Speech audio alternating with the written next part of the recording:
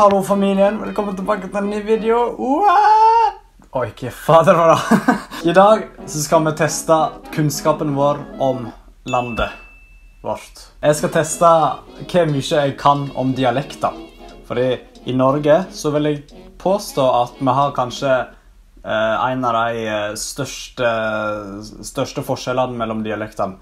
Jeg vet ikke om den setningen ga mening, men let's go. Jeg har funnet to ulike quizer. En er fra VG, mens en er fra Kart i skolen. Vi skal høre ulike dialekter, og så skal vi plassere dem fra hvor vi tror de hører hjemme. Hvor er dialekten fra? Nordavinden og sola kjekla om hvem av dem som var den sterkeste. Ok, Jeg føler dette er ganske likt min dialekt, og jeg er jo fra Vent, hvor er det igjen? Sogndal-området, som er sånn her en plass. Så jeg føler at hvis jeg tar dette, så kan det ikke være feil. Ja da! Nordavinden og sola kjekla om hvem av de som var den sterkeste. Da kom det en mann gående med en varm okay, dette er, def dette er definitivt noe fra Bergen-området. Det- That's easy. Give me something hard. Krangla om hvem av de som var den sterkeste. Da kom det en mann gående med en varm frakke på seg. De ble enige om at den som først kunne få mannen til å ta av seg frakken, ble regna som den sterkeste av de. Det er litt skarring her, men det er veldig sånn østlandsk dialekt, så jeg føler kanskje at det kan være denne. Oh! Bitch, what the f... Jeg er jo best. Nordavinden og sola kjekla om hvem av dem som var den sterkeste. Dette her. en mann gående med en frakk på seg. Jeg eier. Nordavinden og sola. Og det her. Fy! Jeg eier! Bytt tema, hva er det for noe? Å, nei. Ikke det. Her har vi VG sin dialektquiz. Hei, jeg heter Veslemøy Kristiansen. På 17. mai så pleier jeg å gå Brånån og henge på Fakkelmannen, for det er jo lokal pokal for oss der jeg kommer fra. Ok. Jeg tror vi kan stryke av nordlending og stavangersk. Døl. Hva i alle dager? Altså, det er sikkert 100 plasser i Norge som heter Dal eller et eller annet sånt, så den, den er litt vanskelig. Jeg, jeg går for Sunnmøre. Jeg har ikke hørt hele videoen, men Fitt! Ok. Ok. Det var døl. Ores, mitt navn er Runar. Hei, mitt navn er Runar. På 17. mai bruker jeg ikke gjøre så mye annet enn å ete en god frokost med gode venner, og så josse rundt med dem resten av dagen. Venner Det er ikke trøndersk, det er ikke bergensk. Eh, jeg tror det er sør-Troms-dialekt og samisk. Yes!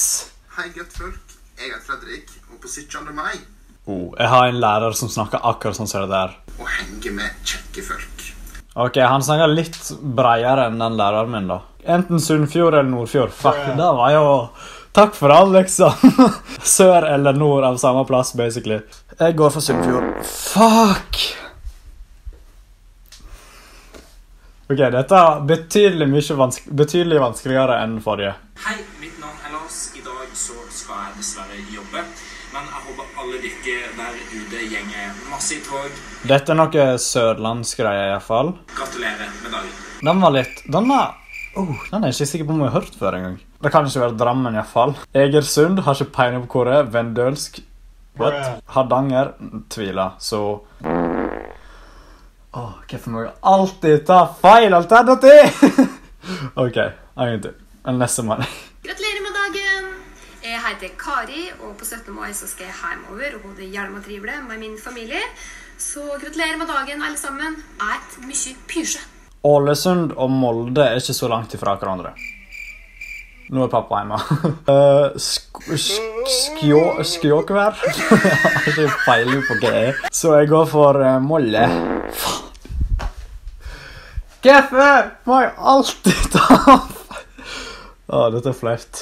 Hei, jeg heter Janne Helen, og på 17. mai Hei, så Janne Helen. familiefrokost. Jeg tror ikke at jeg får noe og kake der, men senere på dagen så skal vi oppover dalen og til heimbygda mi i Trøndelag. Meråker-dialekt. Aldri hørt om. Romsdal, kanskje?